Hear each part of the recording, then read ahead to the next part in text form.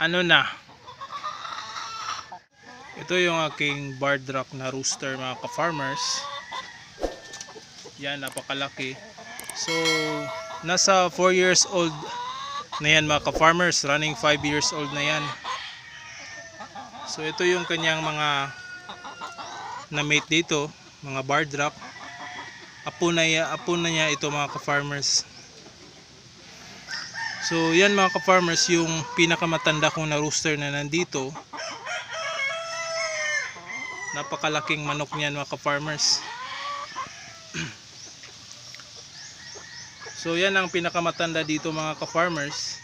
So, itra na-try ko ito, itry ko itong mag-breed ulit kung maganda pa yung resulta niya kasi matanda na yan.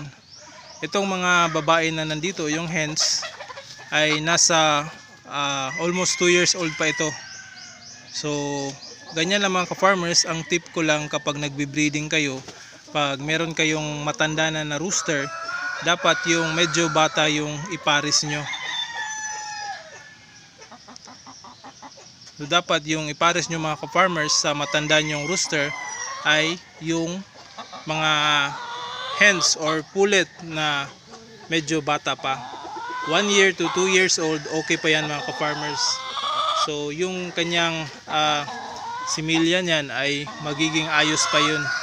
At yung magiging anak ay ayos, ayos pa din. So, ito. So, yun lang ang mabibigay kong tip kapag nagbe-breeding kayo ng matanda na mga ka-farmers. So, ang breeding ko nito mga ka-farmers ay itong matanda na rooster na ito, meron siyang anak na lalaki. Yung anak niya na lalaki ay yung ama nitong mga babae na ito. So, nagiging apo na niya ito yung mga hen na nandito. So, ito.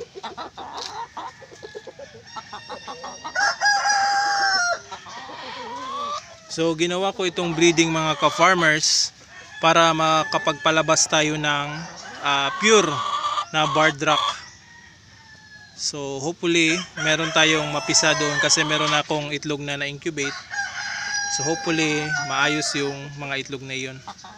So, ito pala yung mga itlog nila mga ka-farmers. So, naubusan ako ng dayami noon. Kung hindi pa ako nakakuha yung rice hull yung nilagay ko dito. So, ito yung mga itlog nila. Ang lalaki pa rin yung mga itlog. So matagal din itong hindi nangingitlog yung mga inahin mga ka-farmers until nung gumamit ako ng ah, fermented grains at saka hinaluan ko ng hinaluan ko ng ah, Galimax 21. Hindi ko kukunin to. Dahil marami tayong sapal ng niyog mga ka-farmers, ito dito pa. So ito ang ipapakain natin ngayon. So meron tayong feeds dito na binabad Galimax 21 ito. Yan. So binabad natin ito sa tubig. At lalagyan natin ito ng ito ah, darak so ihalo lang natin ito. Sapal ng niyog.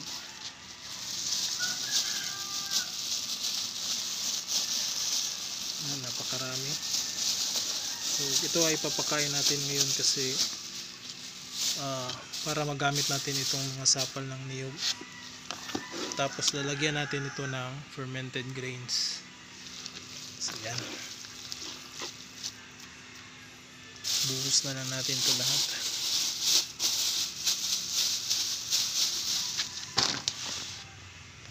Tapos ito ah, lalagyan natin ng ah, darak. O yung rice brand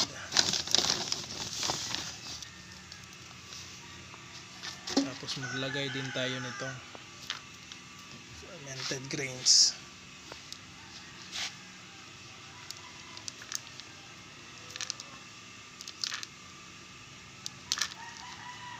So, farmers meron pala tayong mga yung mais na medyo nabubulok na. So isama na natin ito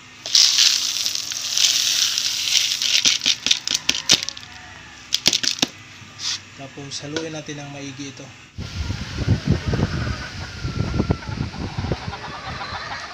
So ito na mga ka-farmers yung ating na mix.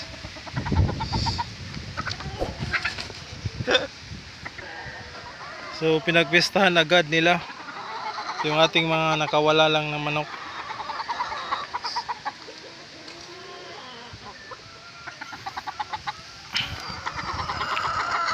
Ah.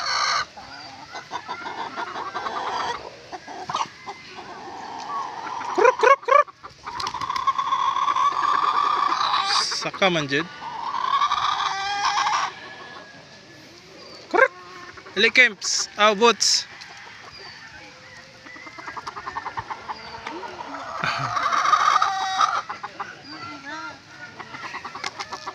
Hindi siya. Ulaw. Ano na?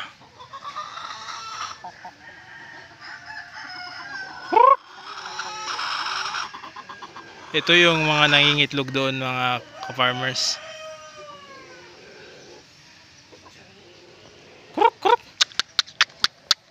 Yan, bulag din yan. Yung, kita nyo yung isang mata niya.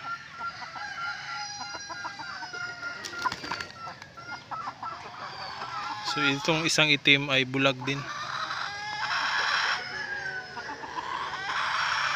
So ipakain na natin ito. Let's go. Ito mga ka-farmers, binigyan natin sila.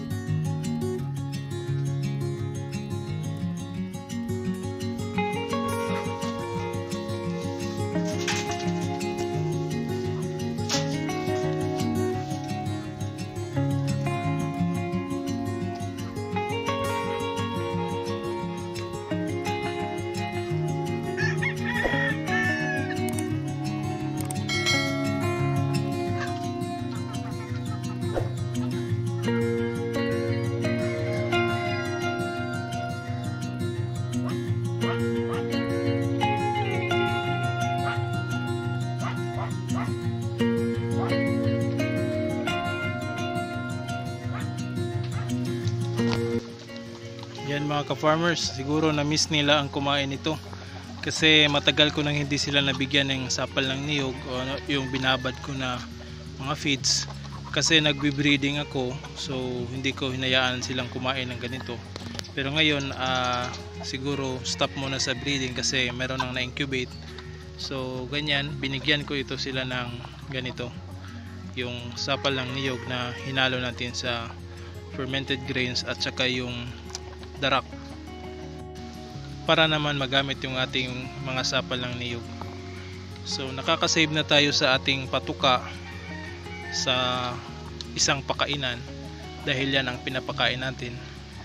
So ayos talaga mga ka-farmers. So bukas pwede naman nating ibalik yung kanilang normal na pakain na may feeds. Pero pwede nating bigyan din sila ng ganito yung treats nila like ah, sapal ng niyog yung darak. So yan mga ka-farmers